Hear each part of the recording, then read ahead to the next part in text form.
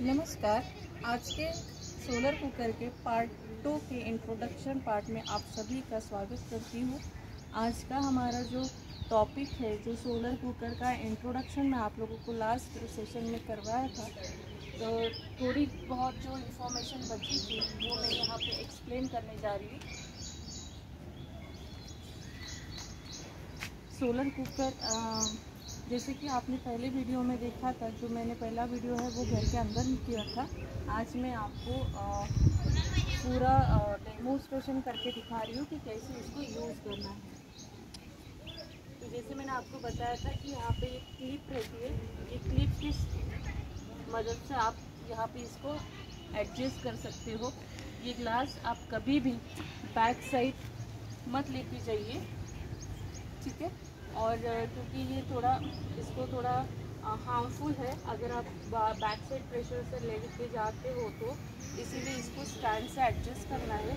अब ये कंटेनर जो है, इसमें आप देख सकते हैं, मैंने अभी इसको रखी सिर्फ़ दस मिनट हो गए और बहुत ही, बहुत ज़्यादा गर्म कंटेनर हो गए कि मैं इसको हाथ नहीं, हाथ से नहीं पकड़ पाऊँगी।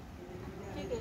अब जो खाना जिसे पकाने के लिए बहुत टाइम लगता है, वो खाना आप ये कंटेनर में, ये साइड में रखें आपको, पीछे साइड में। और सामने जो है, जो जिस जिसको आपको टाइम कम लगता है जिसको कोई भी जो कुकिंग आइटम्स है, जैसे चावल है या आपको मैगी करना है इसलिए बहुत तुरंत बन जाती है तो आप ये साइड फ्रंट साइड में उसको रख साथ ही साथ आपको रात का बचा हुआ खाना गर्म करना है तो वो भी आप ये कंटेनर में रख के गर्म कर सकते हो। और ये पूरा जब आपको खाना है तभी ये इसमें से कंटेनर लेके जाओ और आप गरम गरम खा सकते हो। और आपको एक बात फिर से बताऊँगी कि ये कंटेनर जो है, ये हीट एब्जॉर्प्शन बहुत ज़्यादा करते हैं। अभी देखो जस्ट मैंने 10 मिनट के टाइम में ये पूरे कंटेनर बहुत ज़्यादा गर्म हो गए। इसको, इस तरीके से आप बंद करने के बाद ये क्लिप लगा दीजिए क्लिप के बाद यहाँ से जो हीट रिफ्लेक्ट होती है यहाँ पे तो यहाँ रिफ्लेक्ट होने के बाद अंदर के जो कंटेनर हैं, वो बहुत ज़्यादा गर्म हो जाते हैं। इसे आप अगर ये ग्लास को आप ऊपर से हाथ लगाओगे तो ये गर्म नहीं लगता है, लेकिन आप अंदर के कंटेनर को हाथ लगाते हो तो बहुत ही ज़्यादा ये गर्म आपको पाए जाते हैं। तो दोस्तों, आपको जब भी आप सोलर कुकर पे काम करते हो तो आपको एक ही प्रिकॉशन लेनी है कि आप इसे बहुत अच्छी तरीके से हैंडल कीजिए, क्योंकि बहुत डेलिकेट पार्ट है। ग्लास अगर एक बार अगर ख़राब हो गया या टूट गया तो इसे आपको रिप्लेस करना पड़ेगा। इसका मेंटेनेंस आज तक कुछ नहीं है। सिर्फ़ आपको ग्लास अगर ब्रेक होती है तो वो आपको रिप्लेस करनी पड़ती है। और साथ ही साथ, इसमें आप सभी तरीके से कुकिंग कर सकते हो, सिवाय फ्राइंग और चपाती।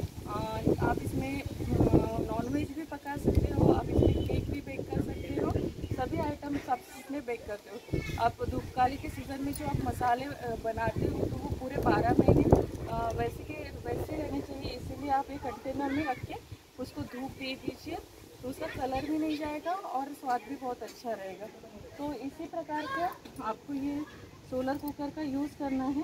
आपके पास पूरे 300 डेज़ सनी लाइट रहते हैं सनी डेज़ रहते हैं तो आपका खाना इस पर अच्छी तरीके से पक जाएगा।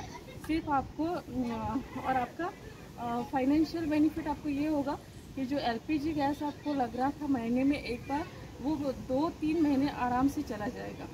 Okay so try to use this solar cooker and try to prepare various type of delicious food in this solar cooker thank you very much अगर मेरा ये वीडियो आपको पसंद आया है तो आप लाइक शेयर और सब्सक्राइब करना ना भूलें और नीचे दिए गए बेल आइकन पे क्लिक करना ना भूलें थैंक यू वेरी मच